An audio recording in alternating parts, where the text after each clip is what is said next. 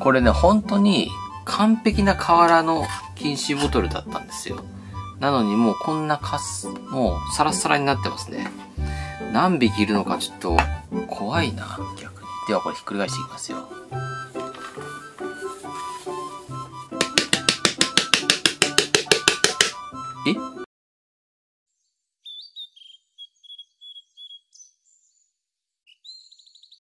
はい、皆さんどうも、こんにちは。ピピンピ生き物チャンネルです。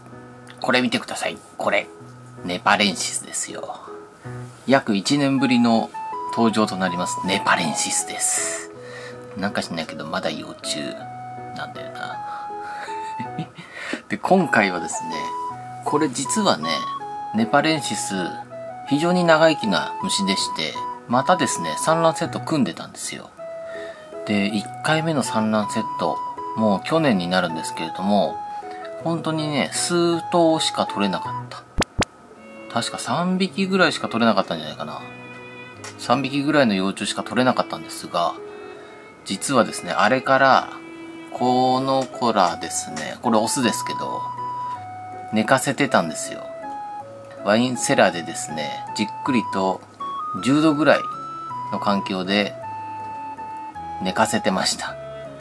で、それをですね、起こして、サーナセットを組んだわけなんですが、ひどいことになってます。はい、これです。じゃらんえーとね、産卵セットはですね、金賞産卵っていうのでやりました。金賞というかあの、ボトル、あ、ボトル産卵だな。ボトル産卵、産卵で行ったわけです。はい。瓦のボトルですね。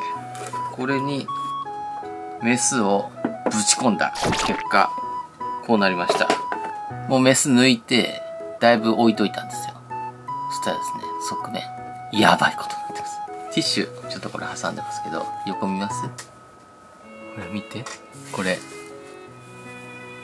ほら。これやばない？これやばいよ、きっと。ですので、ネパレンシスは、1年寝かせて待て。はい。これが必勝パターンです。1年目で産卵セット組んだけど、卵全然生まれなかったっていう方、めげずにですね、えっ、ー、と、すぐさま低温にぶち込んで寝かせてください。その後、産卵セット、また翌年ですね、産卵セットを組めば、私のようにここに大豊作なるはずです。あくまでもはずですね。はい。ということで、産卵セット、割り出していこうと思います。実はですね、メスはまだまだ健在でして、もう一個の、あの、禁止瓶にぶち込んであります。はい。ですので、これね、あれ？ハエがいるぞ。ちょっと待って。え？嘘だろちょっと待って。え？ハエがいるじゃないか。数匹ならいいけどな。いや、開けるか。それでは、皆様、ご一緒に見てください。パッカ、パカリーヌ。あれ？ハエどこ行った？ハエは？これやばいな。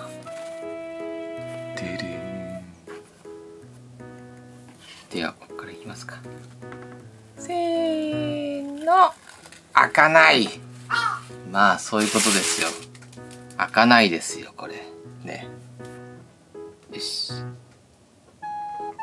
ロピロピロピロピロピロ。はいはいピキ。ピロピロピロピロピロピロ。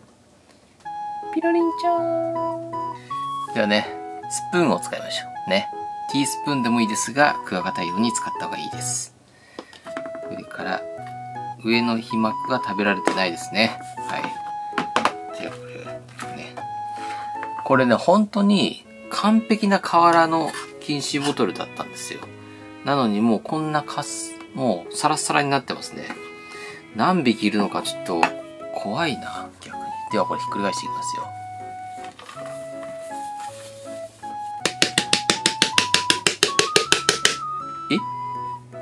え？やばない？え？これやばいと思うぞ。やばいよ、やばいよ。やっちゃったかな、これ。ピピンやっちゃったかな、これ。だって一番最初3匹ですよ。多分。これ、どれほど取れたのか。ね、恐ろしいですよ、これは。3匹だったのに、1年寝かせたら、これだけ取れるんですよ。皆さん。何度も言いますけど、ネパレンシスは1年寝かしましょう。ね。寿命のポテンシャルは非常にあるクワガタですよ。ですので、まあ最近値段もこなれてきましたけれども、まあ1万円ぐらいするのかな。1万円以上はすると思うんで、せっかく1万円以上したのに、卵産まないじゃないか。ってね、なっちゃったりして悲しいんで、そこはもう、頑張って待ちましょう。はい。ではですね、中古のプリンカップにちょっと1個ずつ入れていこうかな。ね。ほら、いい感じっすよ、これ。ほらほら、いっぱいいるよ。ちょっと待って。ちょ、ちょ、ちょ、ちょっと待って。これやばいな。あ、いっぱいいる。おほほ。割り出し簡単。これいいですね。いやいやいや、瓦材瓦材やったぜ。ひょいひょいひょいひょいひょいひょい。ほらほらほらほらほら。まだまだ。え、こんなにいんの？マジで？嘘でしょほら。ざーっと取っただけでこんなにいます。やったちょっと早く。ちょっと早く一個ずつ入れてあげよう。いっぱいやわ。私ね、こう見えてもね、手、冷たいんですよ。夏場なのに手冷たい男ってやばいよね。まあ、稀にいるんで、すいません、あの、女性の方、の、冷え性の方もいると思うんで、あの、冷たくなる方もいますね。はい。ちょっとね、語弊がありましたが、別に悪い意味で言ったわけではありません。ちょっと待てや。ネパレンシスよ。お前のポテンシャルを舐めていたと。こんなに生まれたのか。まあ、これのちょっと、まあ、卵でね、取り出さない、取り出すのがめんどくさ、何、大変っていうネックがありますが、金賞産卵はですね、金賞産卵とかボトル産卵はですね、あの、取りづらいから、幼虫、幼虫、幼虫。こんなもんかしら？と言ってもですね、今日は今ですね、えっと、12時半ですね。夜です。です。あもう終わっちゃったかな？ちょっと、これ、でっかいトレーで見ていきますね。よしいませんでした。では、ちょっとこんなに取れたんですけど、このままだとちょっと幼虫ちゃんかわいそうなので、かけちゃいますね、これね。私の場合ですけど、このようにね、割り出しを行った後に、幼虫の餌を用意します。まあ、餌を用意しますというのは、その幼虫を入れる容器を用意するんですね。そうすることで、何個その容器が必要なのかっていうのができますので、無駄が少ないということですね、利点は。無駄が少ない。あと自分のその飼育する数をコントロールできるっていうのもありますね。ただあのデメリットもあってですね、その幼虫の餌を用意するまでの間が空いてしまうってことですね。先に餌を作っておけば、まあ無駄が出ちゃうかもしれないけど、スムーズに幼虫を育てることができます。まあ大きくしたいとか、したいっていう方は、ちょっとこのやり方は不向きかもしれないですね。一旦、一旦ここでこう、餌をで作るまで、特に禁止ね。禁止はね、あの、出来上がるまで時間が少しかかりますんで、まあ1週間ぐらい。こだわる人だともう2週間とかそのぐらい頑張る人もいますけど、まあ私はまあこだわってはいないので、なんでまあこのような感じで、ちょっとメリットデメリットありますが、まあこっちの方があの、やりやすいと思いますよ。それか、あの、すごく小さい幼虫で取ることですね。そうすれば、あの、結構、効率もいいし、大きい幼虫も育てられるかなと思います。まだ2例だな、これな。ある意味ちょうどいいか。で、今回ネパレンシス君は禁止で育ててみようと思います。